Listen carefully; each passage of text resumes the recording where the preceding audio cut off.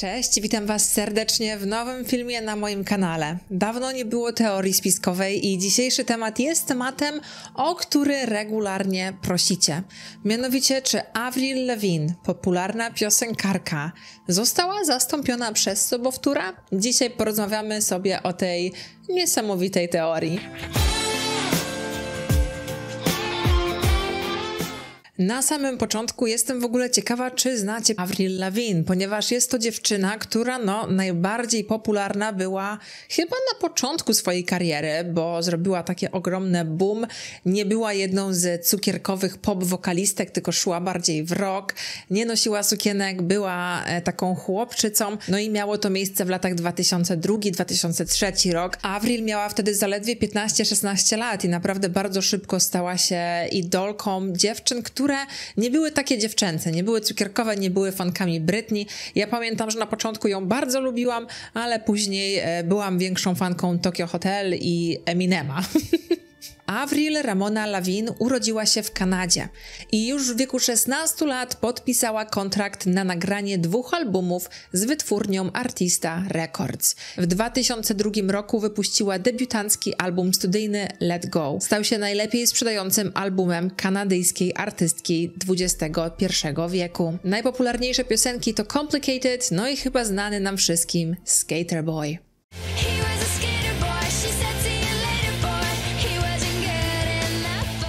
Jak już wcześniej wspomniałam, Avril miała inny styl do typowej w tamtych latach piosenkarki. Nie była cukierkowa, nie była dziewczęca, była chłopczycą. No tak jak w piosence Skater Boy, była zawsze ubrana w dosyć luźne ciuchy, była zawsze ubrana w dosyć luźne ciuchy, miała na sobie krawat, proste włosy. W swoich wywiadach mówiła też, że właśnie wygląd nie jest najważniejszy, że jej na tym nie zależy, że nigdy nikt jej raczej nie zobaczy w żadnej sukience i tak dalej. To wszystko już niedługo by się zmieniło. I to jest jeden z powodów, dla których ludzie uważają, że Avril została właśnie mm, zastąpiona sobowtórem. I ta teoria spiskowa, słuchajcie, zaczęła się już w 2005 roku, a to wszystko za sprawą e, hiszpańskiego bloga Avril nie żyje. I na tym blogu blogerka podzieliła się swoją teorią na temat tego, że Avril została zastąpiona. Ponoć dziewczyna nie radziła sobie z ogromną sławą i sukcesem, który przyszedł jej naprawdę bardzo bardzo szybko. I to jest prawda. Ona bardzo często mówiła, że wszystko działo się bardzo szybko. No I to jest naprawdę ogromna zmiana dla każdego, tym bardziej w tym wieku, w tak młodym wieku, że przechodzicie od grania z waszym zespołem, nie wiem, w garażu do ogromnych scen i bycia rozpoznawalnym absolutnie wszędzie. Podczas mojego researchu widziałam dwie teorie, dlaczego Avril mogłaby odebrać sobie życie ponieważ właśnie na tym bazuje cała teoria. W jednej z nich mówione jest, że po prostu nie dawała sobie rady ze sławą, z paparazzi, z całą otoczką bycia e, gwiazdą i po prostu jej wytwórnia zatrudniła sobowtóra, kobietę, która nazywa się Melissa i ta kobieta no, była bardzo podobna do Avril. Zaczęli ją uczyć jak śpiewać, jak występować. Na początku pojawiała ona się tylko w różnych miejscach, aby właśnie odciągać uwagę paparazzi od tej prawdziwej Avril, żeby ona mogła sobie sobie tam bardziej spokojnie żyć. No ale koniec końców, kiedy Avril Lavigne odebrała sobie życie pod tak ogromną presją mm, swojego zawodu, Melissa przejęła jej karierę, jako iż wytwórnia chciała po prostu zyskać finansowo. Druga teoria jest taka, że Avril odebrała sobie życie ze względu na to, iż nie dawała sobie rady po tym, jak zmarł jej ukochany dziadek. I z tamtego czasu widzimy, że są zdjęcia, gdzie Avril wygląda na, wiele osób mówi, smutną, e, chorą. No wygląda na to, że coś nie, no nie jest wesoła na tych zdjęciach, ale no ja bym się tutaj mogła kłócić, że czy każdy musi wyglądać na osobę po prostu zdrową, czującą się dobrze. Każdy ma gorsze w ogóle dni, ale wiecie, gonią was paparazzi i nie na każdym zdjęciu wyjdziecie idealnie, prawda? No ale ogólny zamysł jest taki, że Avril nie dawała sobie z tym wszystkim rady, odebrała sobie życie gdzieś jakoś w 2004 roku i Melissa przejęła całą karierę, ponieważ wytwórnia nie chciała tracić finansowo e, na artystce, która po prostu właśnie wspinała się na szczyt swojej kariery, była w najlepszym momencie swojej kariery, dlatego też stwierdzili, że sobowtór jak najbardziej da radę. No i według osób, które wierzą w daną teorię, do dzisiaj obserwujemy w mediach Melisę, a nie prawdziwą Avril. No i teraz tak, nie powiem, że są to dowody, no bo Nie za bardzo są. Nie są to też jakieś fakty. Są to rzeczy wyróżnione przez osoby, które wierzą w daną teorię. No i teraz sobie o nich porozmawiamy. Zacznijmy sobie od jej piosenek. Avril to artystka, która w większości pisze swoje własne piosenki. Pisała nawet piosenki dla innych artystów. Nie wiem, czy nadal to robi, dlatego mówię w czasie przeszłym, ale jest właśnie mm, artystką, która to robi. No bo nie wszystkie piosenkarki piszą swoje własne piosenki, prawda? No i porozmawiajmy sobie tutaj o albumie Under My Skin. Zacznijmy od okładki, ponieważ wiele internautów mówi, że sama kolorystyka może oznaczać żałobę. Mamy czerń, mamy czerwień. Ponoć może to właśnie oznaczać, że Avril już nie żyje i obserwujemy jej zastępczynię, czyli Melisę. Pojawiło się też zdjęcie w tamtych czasach, gdzie to było takie zdjęcie promocyjne jej piosenek, jej nowych albumów, tam jednego z albumów i na ręce ma ona napis Melisa i ja próbowałam się doszukać, co to oznacza, jednak wszędzie jest tylko napisane, że to imię absolutnie nigdzie się nie łączy z Lawin. Nie jest to ani jej drugie imię, ani imię jej mamy, ani babci. Mm, po prostu jest to takie losowe imię wypisane na jej ręku. Dlatego też właśnie jeżeli chodzi o sobowtóra, to przypisano tej kobiecie, mm, która ponoć jest, czy jej nie ma, no bo nie wiemy, tak? Imię Melisa właśnie od tego napisu. Na płycie Under My Skin mamy piosenkę Nobody's Home, zresztą jedna z moich ulubionych piosenek Avril z tamtego czasu.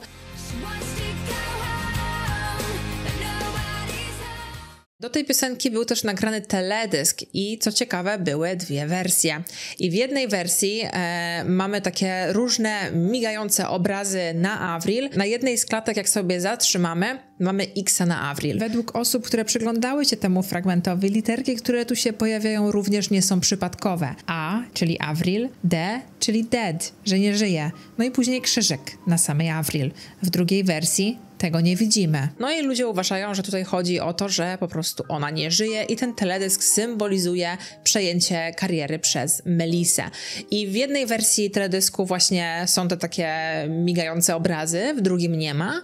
No i w jednym teledysku mamy też scenę, gdzie postać Avril w krótkich włosach, która właśnie e, jest poza domem, próbuje wrócić, dzwoni do swojej mamy, jakby z proszeniem o pomoc. Ta scena jest też wycięta z drugiej wersji teledysku, więc dlaczego są dwie wersje? To jest takie, no na pewno gdzieś tam może wytłumaczalne, jednak wiele osób właśnie uważa, że ten teledysk razem ze słowami piosenki oznacza odejście Avril i przejęcie kariery przez Melisę. No i ona tutaj śpiewa. Chcę wrócić do domu, ale nikogo tam nie ma. Ona właśnie tam leży, złamana od środka. Nie ma dokąd pójść, by osuszyć swoje łzy. Złamana od środka. To jej uczucia, skrywa swe marzenia, nie może niczego odnaleźć. Nie jest to jedyna piosenka, która tutaj została wyróżniona przez internautów. Jest też e, piosenka nagrana z Iwanem, który był członkiem zespołu e, Avril i odszedł od zespołu w 2004 roku. To jest ponoć właśnie ten czas, kiedy Avril miałaby sobie odebrać życie. No i w piosence śpiewają o tym, że dobiegł czas ich przyjaźni. I mamy takie słowa jak spędziliśmy razem najlepsze lata naszego życia, jednak nigdy nie będziemy już tacy Kolejne słowa są śpiewane tylko przez Iwana i brzmią następująco. Wrzesień mnie zdziwił, pozostało mi tylko patrzeć na zmiany roku. Nigdy nie myślałem, że zostanę sam, że stracę przyjaciela. Wszystko jest teraz inne. No i wiele osób patrzy na to tak, że jest to piosenka o tym, że właśnie Avril zmarła została zastąpiona. No i Evan właśnie w niej mm, mówi o tym trudnym przeżyciu. Dla mnie wygląda to po prostu tak, że oni prawdopodobnie wiedzieli o jego odejściu z zespołu i napisali daną piosenkę. Może być to piosenka o tym, że stracili wspólnego znajomego, przyjaciela, koleżankę, kogokolwiek i po prostu nagrali coś takiego. Nie każda piosenka słowo w słowo oznacza to, co śpiewają, prawda? Tutaj mogą być po prostu bardzo duże metafory. Internauci jednak wierzą, że ta piosenka jest dowodem na to, że lawina odeszła i Evan dlatego też odszedł z zespołu. Tylko dlaczego śpiewaliby o zakończeniu, o stracie przyjaciela, jeżeli nic nie zakazywało im kontynuowania przyjaźni poza pracą razem. Jeżeli chodzi o piosenki to można by tutaj naprawdę wymieniać, bo wiele osób e, bierze właśnie dane cytaty z nich i mówi, że tu na pewno o to chodzi. Ja tutaj dodam zdanie od siebie. Bo jeżeli byłaby sytuacja, że dana artystka, artysta zostałby zastąpiony przez sobowtóra, a powiem wam, ja to często powtarzam w filmach o celebrytach, o showbiznesie, nic mnie już nie zaskoczy. I znowu przytoczę przykład Britney Spears, ale wiele osób nie wierzyło, wiele osób nie wierzyło i co? Wszystko okazało się być prawdą, więc mnie też już naprawdę nic nie zdziwi, jeżeli chodzi o show biznes, ale wątpię, żeby wtedy wytwórnia pozwalała na wypuszczanie piosenek, w których byłoby właśnie, mm, byłyby takie znaki, prawda? Tak samo jeżeli chodzi o okładkę płyty, kolory, takie rzeczy. Jednak coś, co przekonuje bardzo dużą ilość osób, to zmiana w samej Avril, lub Melisie, jak kto woli. Ponieważ e, zacznijmy od jej stylu. Ten styl był bardzo chłopięcy. Mówiliśmy już o tym. Proste włosy, krawaty, szerokie spodnie. Chłopczyca, która jeździ na deskorolce, tak? Jednak bardzo szybko, e, z albumu na album, Avril się zmieniła i mieliśmy już bardziej dziewczęcy wygląd. Często podkręcone włosy, sukienki. Jej muzyka też się troszkę zmieniła, bo było już mniej tego punk rocku, a więcej popu. No i znowu mamy dwie grupy ludzi. Osoby, które uważają, że zmiany są jak najbardziej normalne. Tym bardziej, jeżeli mówimy o wieku nastoletnim. I ja się nawet nie zgadzam z tym, że nastoletni, bo wydaje mi się, że zmieniamy się całe życie. I nawet jeżeli chodzi o styl, ja osobiście jednego dnia po prostu ubieram się, jakbym e, była animatorem dziecięcym. Następnego jestem cała na czarno. Potrafię ubrać się rockowo, a innego dnia czuję, że chcę być bardzo kolorowa i hipisowska. Nie mam określonego stylu, a mam 30 lat. I wydaje mi się, że takie zmiany są jak najbardziej normalne i Okej, okay. i to nie oznacza, że zastąpił mnie jakiś e, sobowtór, chociaż był taki czas, że bardzo dużo osób pisało, że niesamowicie dużo razy mrugam oczami, więc tutaj może są jakieś znaki. Teraz wszyscy będziecie patrzeć, jak mrugam, bo ja faktycznie bardzo dużo mrugam, ale tego w ogóle nie odczuwam. E, ale nie o mnie. Ta zmiana stylu jest jak najbardziej normalna, jednak bardzo dużo osób odnosi się do tego, że młoda 16-letnia Avril mówiła, że ona nie jest dziewczęca, że ona na to nie zwraca uwagi, że sukienki to w ogóle nie jest jej styl. No ale wiadomo, to się wszystko może zmienić, tak? I 16-letnia Avril może myślała wtedy inaczej, ale nie chodzi tutaj tylko o styl, coś co można łatwo zmienić. Chodzi też na przykład e, o jej twarz, o jej nos. Jej nos się zmienił, no i to też można bardzo łatwo wytłumaczyć. Operacja plastyczna. I nawet jeden z magazynów w tamtych czasach, kiedy w właśnie 2011 bardzo głośno się zrobiło o tej teorii, mimo że rozpoczęła ona się w 2005, to w 2011 było głośno i nawet chirurg od operacji plastycznych wypowiedział się mm, w wywiadzie w jednym z magazynów, że Avril prawdopodobnie miała właśnie operację plastyczną nosa.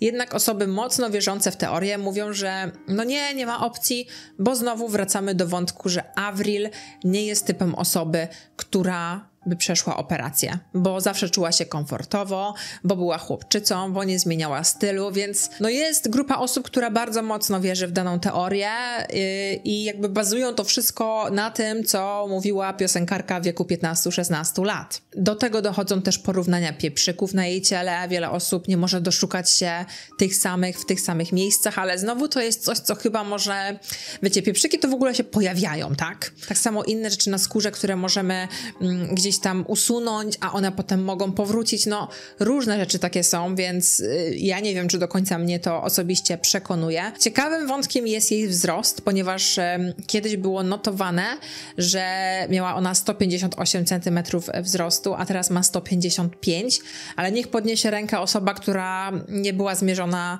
w dwa różne sposoby, czy wiecie, inaczej, bo ja też. Kiedyś wydawało mi się, że mamy 160 chyba 6 cm byłam zmierzona, teraz mam 163 chyba, e, więc no, no to zależy, kto jak się zmierzy, kto kogo zmierzy, czy mamy te buty, czy nie, jak stoimy. Naprawdę za każdym razem to może wyjść dosyć inaczej. To jak stoimy, czy się garbimy, czy nie. Jednak tutaj fani są przekonani, że no to, to nie jest do podrobienia, prawda? Tylko, że to nie my stoimy i mierzymy Avril, tylko to są informacje gdzieś tam podane online. Jednak jest wątek, który jest troszkę bardziej przekonujący i chodzi tutaj o barwę jej głosu. Kiedyś było to bardziej mezo, Ja też nie wiem, co to znaczy. Mam nadzieję, że po polsku jest tak samo jak po angielsku. A teraz jest to bardziej soprano. I to możemy usłyszeć, kiedy ona mówi, kiedy śpiewa. Faktycznie odczuwa się, słyszymy tą różnicę. Never really been a fan of and after doing this film, and People that I worked with on this record were people who understood me, let me When you turn around, can you recognize my face? I lost it, lost it, and then I decided. Słychać, że niektóre wersy są zaśpiewane inaczej, że teraz ten głos jest taki bardziej, ja bym opisała słodki, taki bardziej miękki, ale to też wszystko się zmienia, prawda?